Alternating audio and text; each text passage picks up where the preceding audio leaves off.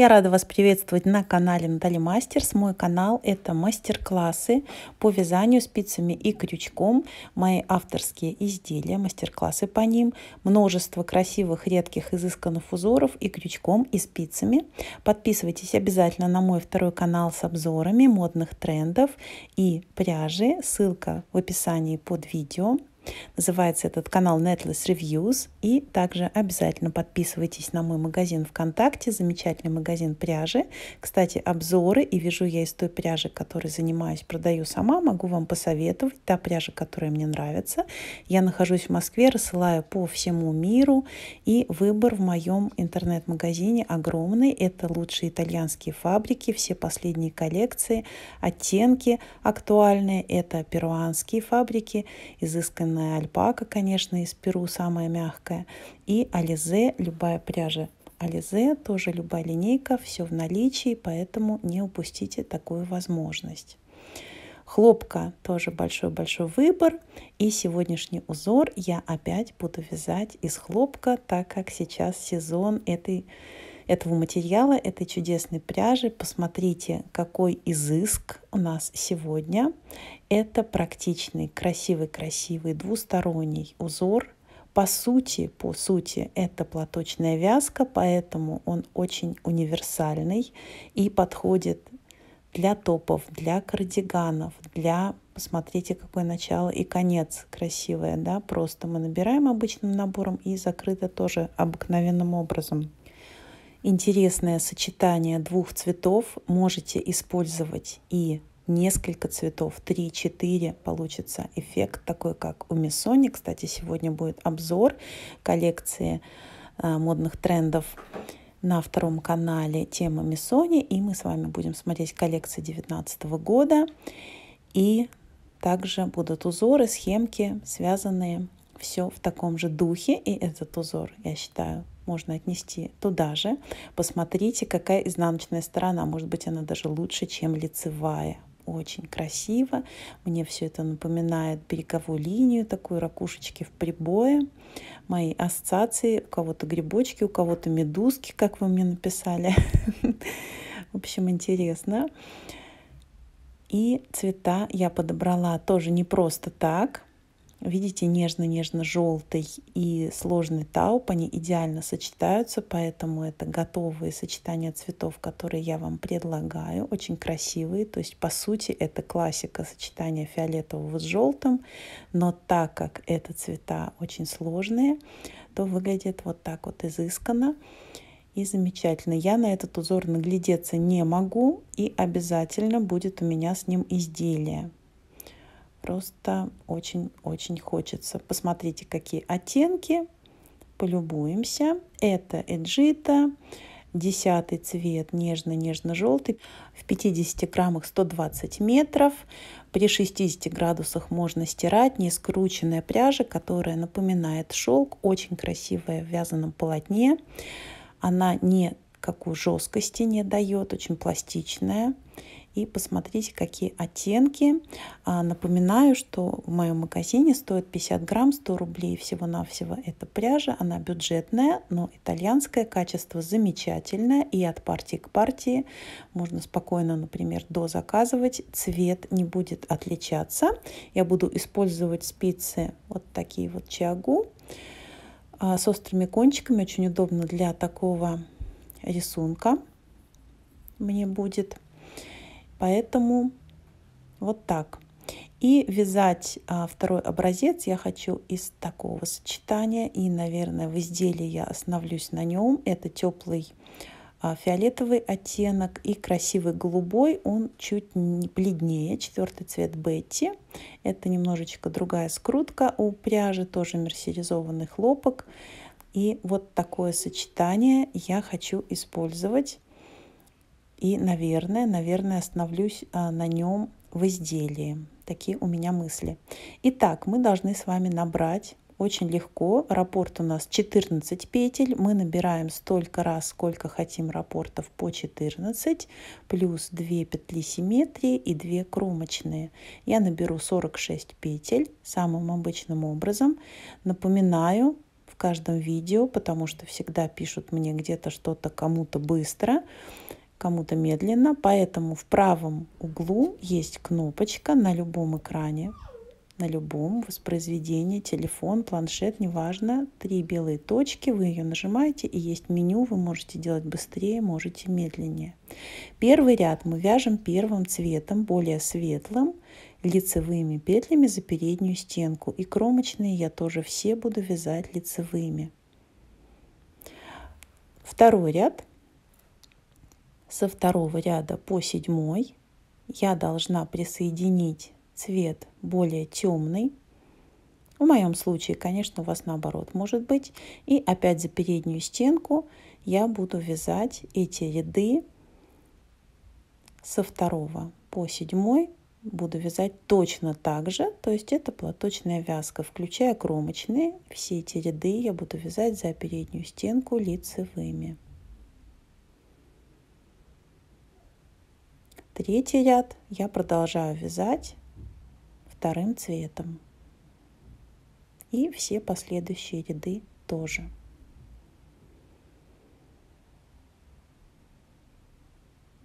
Можно сразу заправлять кончики, чтобы вам было удобно. Итак, провязали 7 рядов. И восьмой ряд. В нем мы будем создавать наш замечательный узор. Вот до сих пор мы с вами довязали.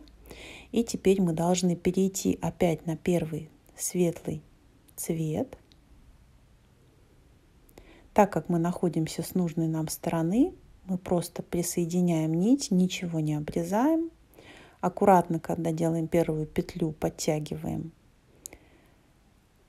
клубочек другого цвета. Я провязываю кромочную лицевой, и далее за переднюю стенку продолжаю вязать лицевые 4, 5, 6, 7, 8, 9. 9 лицевых я должна провязать, считая кромочную. Дальше мне нужно отсчитать на левой спице 3 изнаночные петельки и пойти по третьей петле вниз и остановиться на петле первого цвета, голубой я в нее ввожу правую спицу и вытягиваю петлю. И мы вяжем ракушку, да?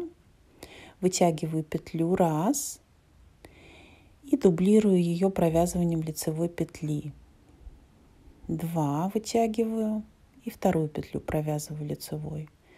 Три вытягиваю, третью провязываю, четыре, четвертую провязываю, 5, провязываем пятую, 6 и провязываю шестую петельку. Вот что у нас с вами получается. И далее я вяжу вторая петля, третья, четвертая, пятая, шестая, седьмая лицевая, восьмая, и девятая. То есть 8 петель, если не считать первую, и 9 петель всего. Да? 9 лицевых после последней вытянутой петли. Дальше мы снова повторяем раппорт. Я отсчитываю 3 петли, по третьей иду вниз до голубой и в первую голубенькую петельку, не перепутайте, я первую петлю вытягиваю.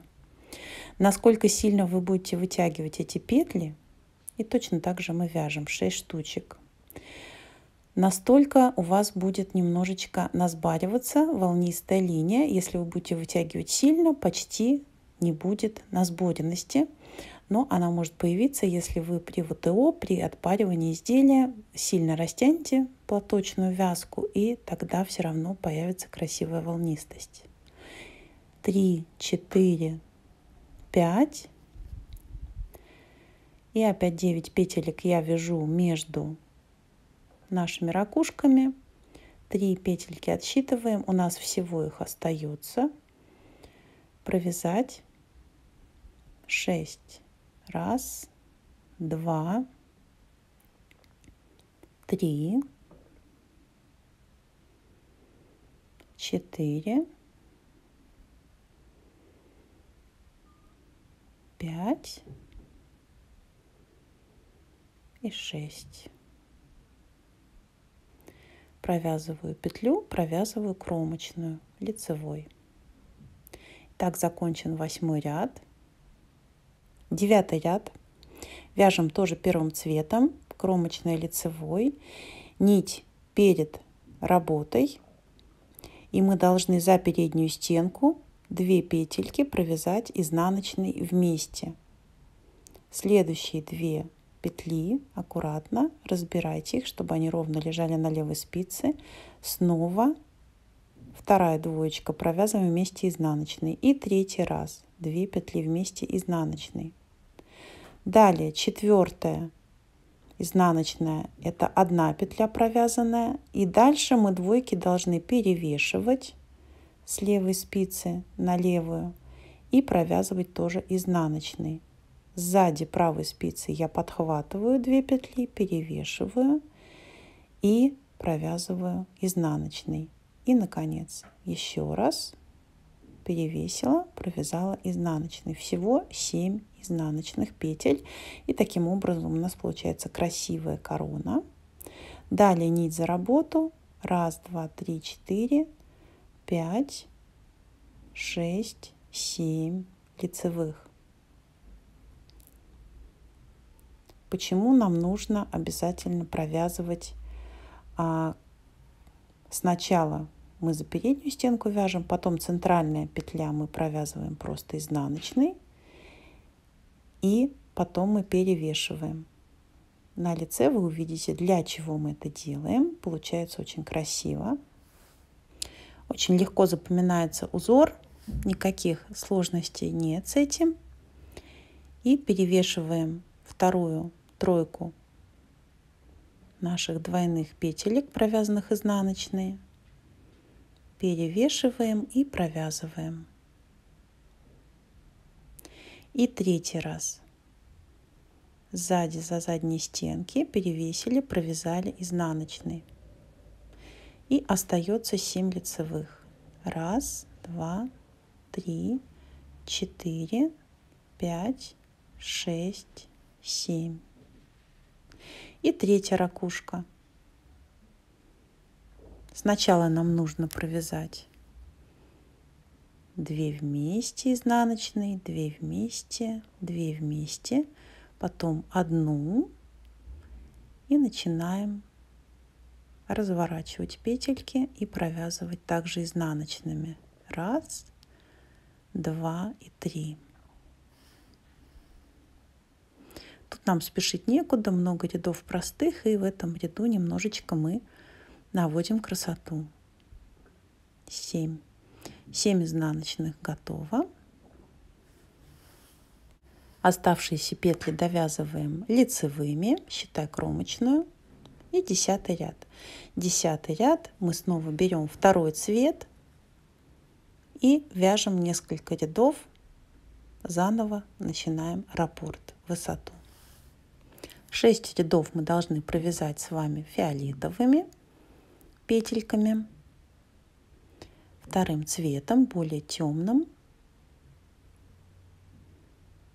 Можно, конечно, вместо одного темного цвета использовать два или три каких-либо, например, по два ряда связать каким-либо цветом или два ряда вторым цветом, еще два третьим, еще два четвертым. И потом перейти к первому. Так, вяжем платочную вязку, 6 рядов. Платочное полотно провязали. И теперь нам нужно разместить очень просто а, наши ракушечки в шахматном порядке. Что мы для этого делаем? Мы опять берем первый цвет, провязываем кромочную, провязываем одну петлю и отсчитываем сразу 3 петли, спускаемся вниз до голубенькой петельки и провязываем в нее первую вытянутую петлю раз и провязываем лицевую маленькую. Вторую провязываем, третью, четвертую, пятую,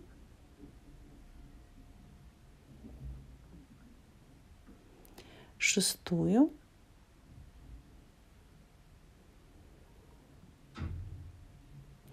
И далее мы с вами вяжем, как обычно, 9 петель до следующей ракушки. Мы уже задали шахматный порядок, и вам очень легко будет смотреть центровку. Вы легко увидите 7 петель и 3 и 3, и между ними четвертая, куда вам вязать. Никогда не запутайтесь. Легко и просто. Провязываем второй мотив.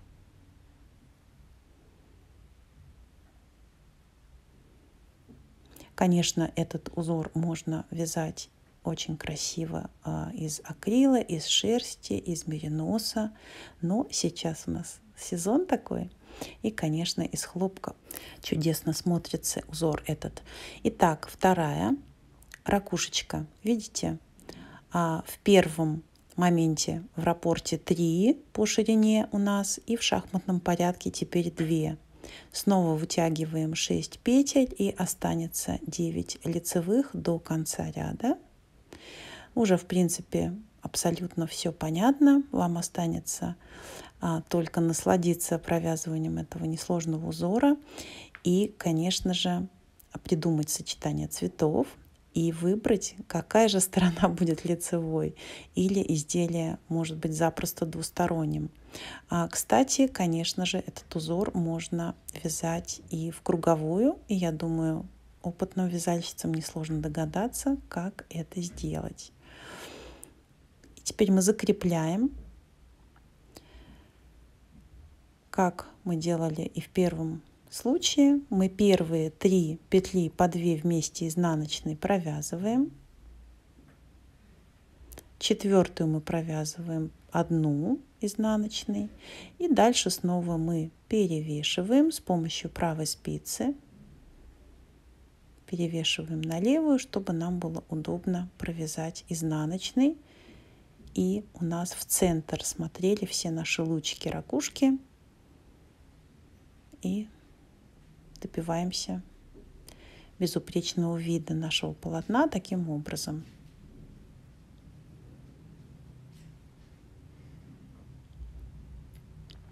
Кстати, можно использовать для этого узора и секционно окрашенную пряжу. Интересно наблюдать, как будут распределяться цвета. Но я бы предпочла два или более красиво подобранных оттенка и чередовать чтобы по одной стороне протягивать все нити, по два ряда должно быть, да, я думаю, это понятно. А закрепляем мы вторую ракушку, я так называю, закрепляем, опять провязываем по 2 петли из 12, да, вместе. Собираем ее в красивую кучку.